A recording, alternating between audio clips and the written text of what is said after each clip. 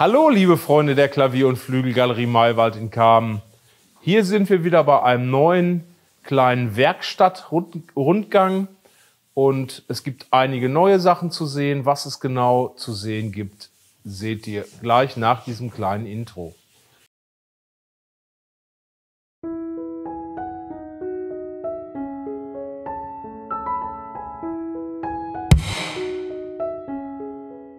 So, hallo, da sind wir wieder in der Werkstatt. Hier stehen wir an unserem inzwischen echt abgearbeiteten, ehemalig Eiche schwarzen O170 Flügel. Hier sind noch Reste. Man kann auch hier schön sehen, wie sich das ganze Patex geklebte Furnier auch noch löst. Das muss noch gemacht werden. Unsere Auszubildende Laura war sehr, sehr fleißig und hat mit dem Heißluftföhn und dem Stecheisen, wie man hier sehen kann, perfekte Arbeit geliefert. Der Heißluftföhn steht auch bei 550 Grad. Ne, ist also nichts mehr zum Haareföhn, dann hat man ruckzuck eine Glatze. Aber für das Furnier ist es wirklich gut und Laura löst jetzt die letzten Reste vom Furnier ab. An manchen Stellen ist es einfacher und, oder lose, an anderen fester. So, jetzt gehen wir hier kurz weiter. So, hier stehen wir vor einem Stapel Notenbücher. Die haben wir auch mit dem Eiche Schwarzen Steinweh mitgenommen. Verschenken wir. Ähm, zu schade zum Wegschmeißen. Teilweise wirklich ganz nette Noten dabei. Alle Mitarbeiter können sich hier bedienen. Wir haben dann auch noch Freunde und Bekannte, die auch alle gerne mal durchgucken. Und ähm, das sind so Sachen, die wir immer verschenken, weil Geld wert in dem Sinne sind sie halt nicht mehr.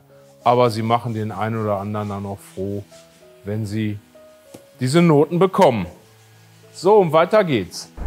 So, hier sind wir jetzt bei einer Reparatur, einem Stein WO-Flügel von 1910, 1911.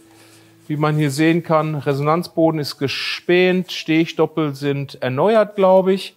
Hier haben wir jetzt den Bodenaufkleber wieder eingebracht. Der trocknet gerade noch, der ist so im unteren Bereich noch ein bisschen krüsselig.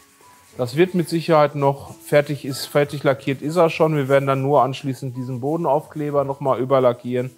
Und dann kommt der Gussrahmen rein. So, den Gussrahmen sehen wir hier.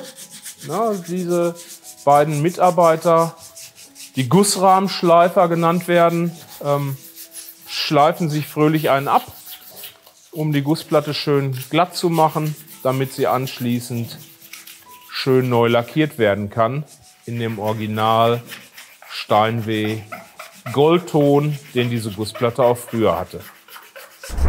Dann haben wir hier noch unser Steinweg-Klavier von dem Kreuzfahrtschiff SS Olympic, also dem berühmten Schwesterschiff der Titanic. Hier sind jetzt auch schon die ersten Vergoldungen unternommen worden.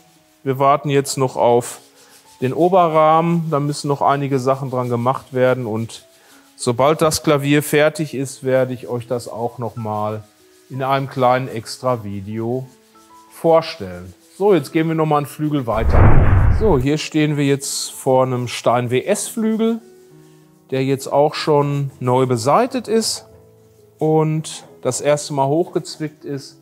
Diesen Flügel werden wir jetzt montieren, zusammenbauen und dann zur Firma Inam geben. Dieser Flügel wird neu von außen schwarz hochglänzend Polyester beschichtet. Wie ihr seht, ist er von innen wieder schön beieinander und fertig für Inam. Wir beziehen unsere reparierten Flügel immer vor dem Polyesterlackieren, um sicherzugehen, dass sich der Flügel in keiner gearteten Weise irgendwie zusammenzieht, was dann bedeuten würde, ähm, dass der frisch aufgebrachte Polyester oftmals hier an diesen Kanten reißt. Das wollen wir verhindern und deswegen wird er immer erst bezogen. So, das war's für heute. Ich hoffe, das Video hat euch gefallen. Ich kratze mich mal kurz am Kopf. Wenn euch das Video gefallen hat, gebt uns gerne einen Daumen nach oben, abonniert unseren Kanal. Für alle Fragen schreibt uns eine E-Mail, ruft uns an 02307 1225 post at piano-maiwald.de wie der Monat Mai und der Wald. Bis zum nächsten Mal. Tschüss.